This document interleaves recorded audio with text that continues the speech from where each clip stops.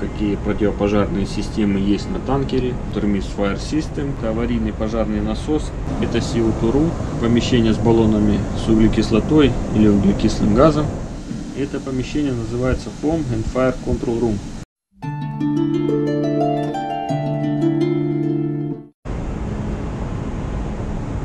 Всем привет! Сегодня я расскажу и покажу вам, какие противопожарные системы есть на танкере. Про огнетушители рассказывать не буду, у всех было ОБЖ в школе, думаю, знаете, как ими пользоваться. Начнем со сплинкерной системы пожаротушения. На английском она называется Water Mist Fire System. Если простыми русскими словами, то водяная система орошения. На данном судне она установлена над главным двигателем, над каждым дизель-генератором, над сепараторами, над зонами вспомогательных котлов, композитного котла, инсинератора и генератора инертного газа. На этой панели указано, в каких зонах эта система установлена.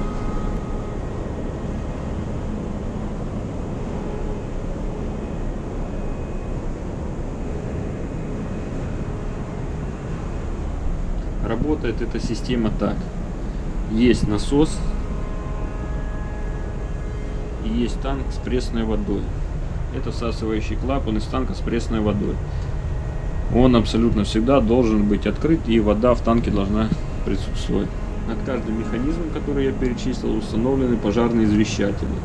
Flame and Smoke Detectors, то есть световой и дымовой извещатель.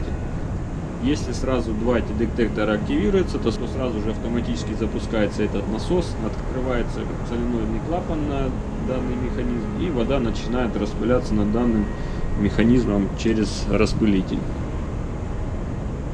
Видите, каждая магистраль подписана.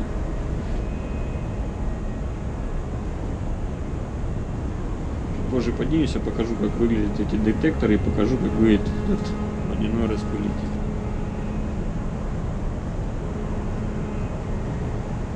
Также на каждой сплинкерной системе есть ручной режим запуска. В случае того, если соленоидный клапан не открылся, или вы обнаружили, что пожар над данным механизмом, то вам нужно перевести управление системы на местный режим, то есть локал. Затем вам нужно открыть нужный соленоидный клапан вручную. Сейчас клапан закрыт, вам нужно его будет перевести в другое положение и затем запустить насос.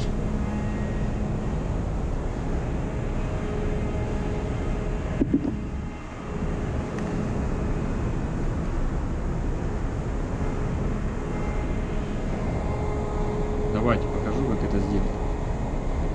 Взяли отвертку.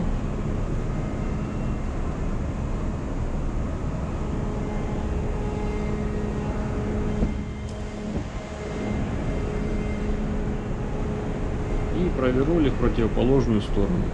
Как видите, есть ограничитель, поэтому не ошибетесь.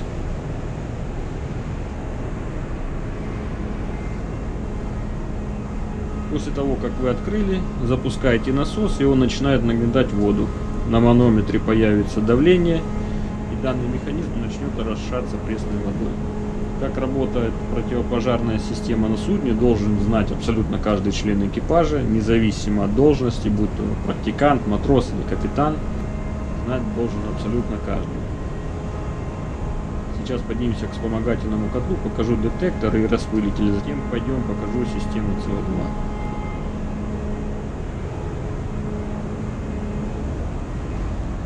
Да, кстати, это аварийный пожарный насос. Аварийный он называется, потому что он может работать от аварийного дизель-генератора. Он берет забортную воду и нагнетает в пожарную линию. На пожарной линии установлены пожарные гидранты, к ним подсоединяется пожарный рукав. И уже потом оперируем этим рукавом по нужде. Или тушим, или охлаждаем смежные переборки.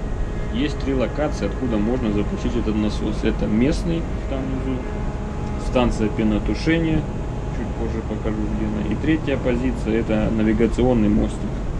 Минимум раз в неделю мы его запускаем и тестируем.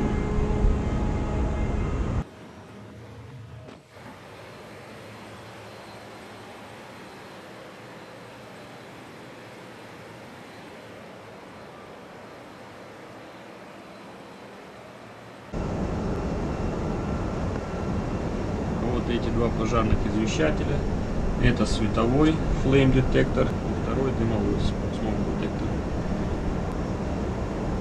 Если оба этих извещателя активируются, то автоматически запустится сплинкерная система. И через этот распылитель начинает поступать вода. Точно такие же стоят на всех механизмах, которые я перечислял. Два пожарных извещателя, Smoke and Flame Detectors и распылитель.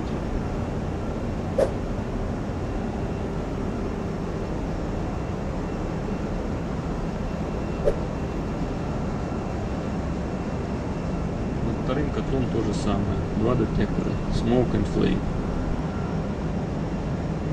И распылитель.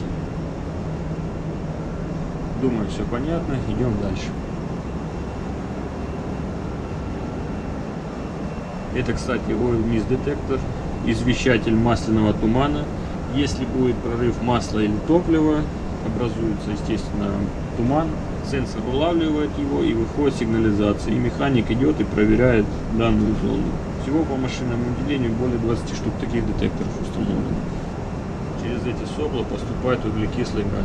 Сейчас пройдем в помещение с этой системой, все покажу и расскажу. Да, кстати, рядом с каждым механизмом, у которого есть сплинкерная система, есть местная кнопка запуска. То есть не нужно бежать в рулевое помещение, нажали эту местную кнопку и сплинкерная система начинает работать в данной зоне.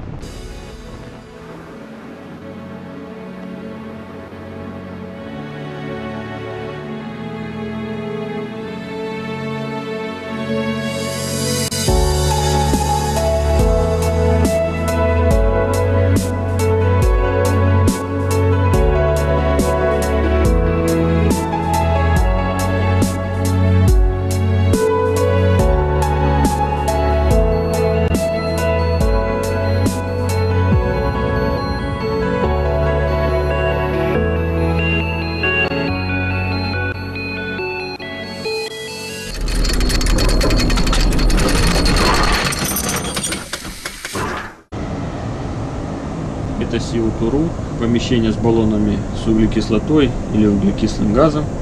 И это система объемного тушения пожара. Перед тем, как входить в данное помещение, необходимо его провентилировать в течение 15 минут. Понятное дело, что в случае пожара 15 минут не нужно ждать, но для обследования и проверки состояния необходимо минимум провентилировать в течение 15 минут. Я предварительно открыл дверь и запустил вытяжной вентилятор, так что можно смело заходить.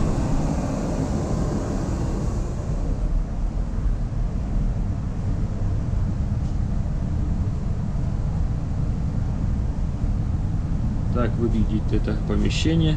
В этих баллонах находится углекислый газ СО2. На данном судне система СО2 используется для тушения пожара в машинном отделении и в насосном отделении Пампрум. Для машинного отделения применяется 196 баллонов, а для помпового отделения 34 баллона. Теперь давайте расскажу, как запускается эта система.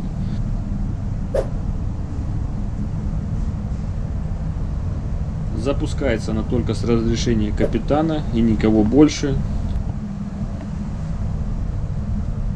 Капитан должен убедиться, что все покинули машинное отделение, и после того он дает команду на активацию этой системы. Это кабинет станции активации системы СО2 в помповом, левее машинного отделения. После того, как вы открыли кабинет, в машинном отделении или в помповом сработает звуковая сигнализация. И на световой колонне сигнализации загорится индикация CO2. При этой сигнализации моряки должны немедленно покинуть помещение. Бросаете все и немедленно на выход. Думать ничего не нужно, а прямиком на выход, иначе это будет последнее, что вы услышите в своей жизни. Открыли кабинет, сработала сигнализация, затем вам необходимо выключить все эти воздушные вентиляторы с помощью этого тумблера. Убедиться, что все двери закрыты, ниоткуда не поступает свежий воздух. Естественно, убедиться, что никого в помещении нет. Открываем клапан из пускового баллона и опускаем пусковую рукоять.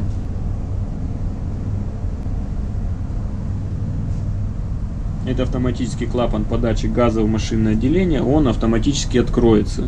Давайте расскажу на примере машинного отделения. Этот клапан в помповое. Этот клапан автоматом открывается, срабатывает конечник аварийной остановки всех механизмов, остановится главный двигатель, остановятся все генераторы, то есть произойдет блэкаут. Судно полностью обесточится. Затем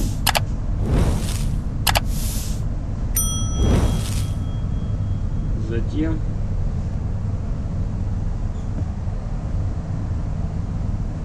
активируется Time Delay Unit, это таймер активации баллонов. Проходит 30 секунд и начинают открываться баллоны один за другим. И газ начинает поступать в машинное отделение. Углекислый газ начинает смешиваться с кислородом, тем самым уровень кислорода падает и огонь перестает гореть. Если кратко, то СО2 убивает кислород в данном помещении. Поступать он будет в жидком состоянии, а из распылителей, которые я показал возле котла, будут выходить парообразно.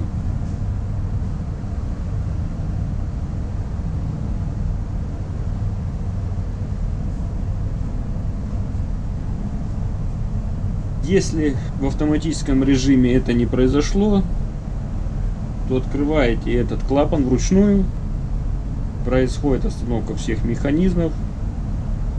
Этот клапан для помпового отделения. Выдернули кольцо, подняли ручку. Затем на любом баллоне данной группы машинного отделения, либо помпового отделения, который вам необходимо активировать, выдергиваете кольцо и опускаете ручку для подачи газа. Точно так же все баллоны открываются и начнут пать СО2.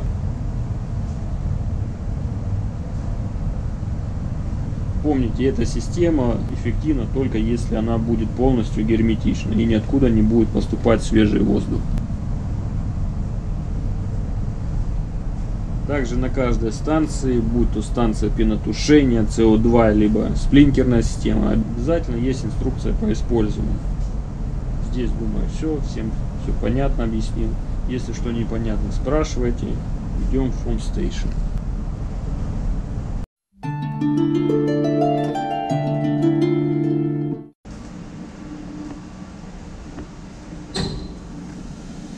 Это помещение называется Foam and Fire Control Room.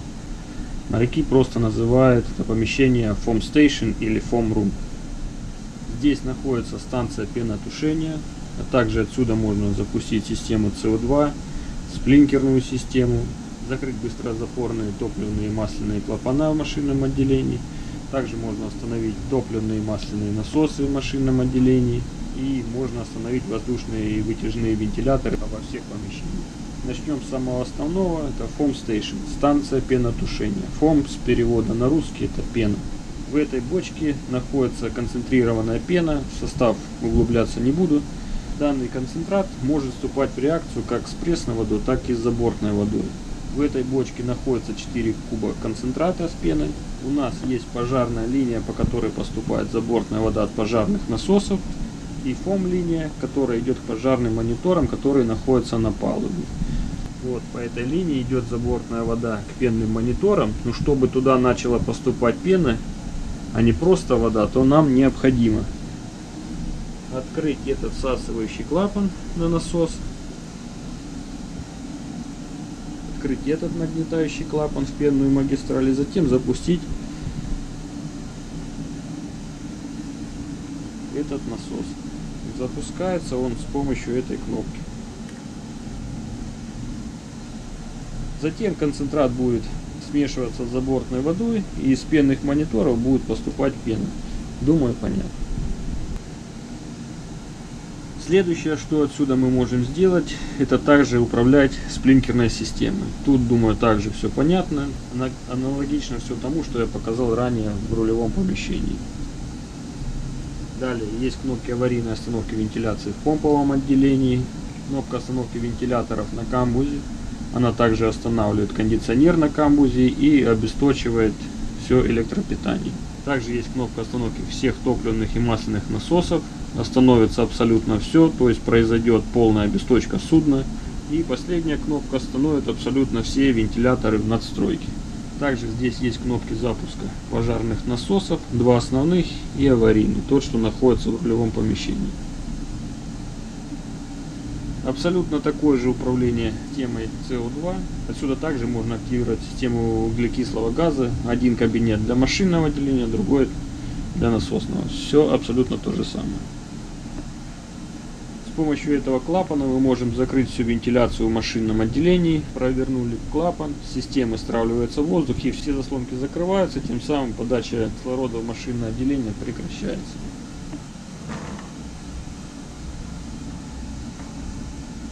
Здесь находится баллон с воздухом и клапана для Quick Closing Valve, или по-русски быстрозапорные клапана. Quick Closing Valve работают таким образом, если на пневмоцилиндр поступает воздух, то он активируется и закрывается. У нас три группы быстрозапорных клапанов. В основном они установлены на топливных и масляных танках. Все перечислять смысла не вижу.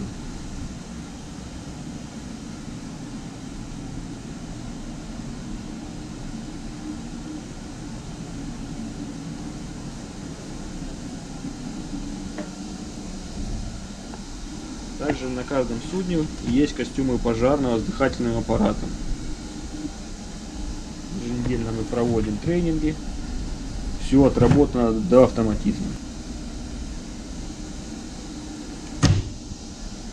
В машинном отделении и насосном у нас на каждой палубе расположены emergency, emergency escape breathing аппараты.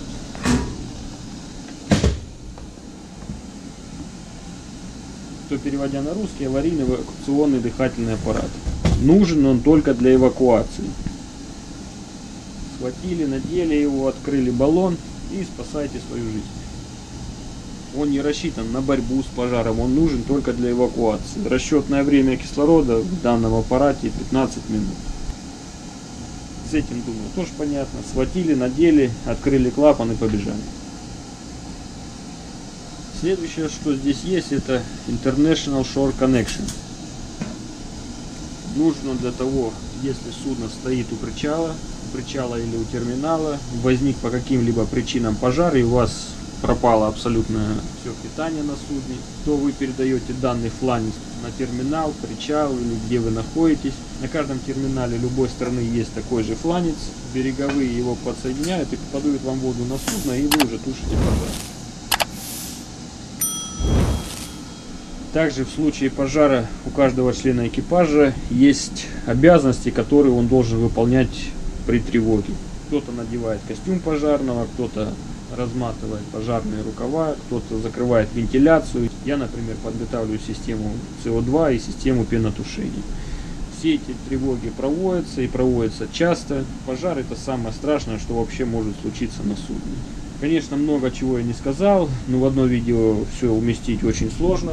Также существует очень много нюансов по каждой системе. Я рассказал основную базу. Если что-то кому интересно, пишите в комментариях, пишите в мой инстаграм, отвечаю практически всем. Помните, что по статистике 98% случившихся пожаров на судах происходит по человеческой вине или невнимательности. Поэтому Будьте внимательны, берегите себя, берегите своих напарников.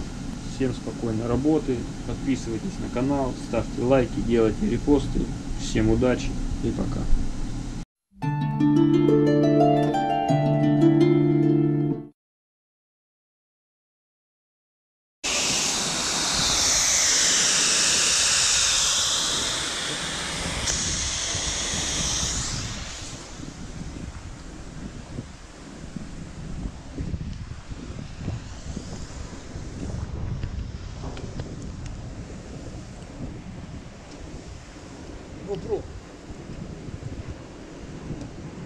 المباراه